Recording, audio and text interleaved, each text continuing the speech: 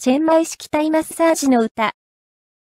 チェンマイ式体マッサージは、セラピストが主役の癒しのアートです。それは、現在の王朝とは、流れをことにする独自のランナー文化の中で育まれてきました。そこには、セラピストも気持ちよさを味わい、施術を楽しみ、しかも、セラピストの体に優しいというコンセプトが仕組まれています。気の流れを施す作法は、独特のリズムを有し、施術は、美しい旋律を生み、全体がハーモニーとなって音楽を奏でます。チェンマイ式体マッサージは、踊りのように、その舞の美しさが要とされています。それが美しい時にこそ、施術が、クライアントのツボを得ているのです。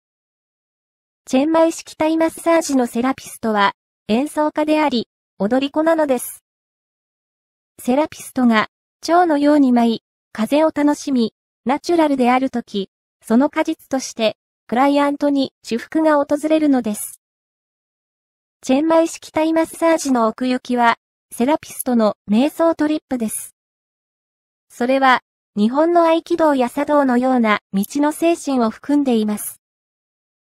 そして、その施術を楽しむとき、セラピストは、子供のように疲れを知りません。このチェンマイ式体マッサージの歌は、チェンマイ式体マッサージのコンセプトを完璧に表現しています。残念ながら作者は不明です。それは瞑想のタイマッサージ。さあ、行って、そのブッダタッチで、あなたの友を癒しなさい。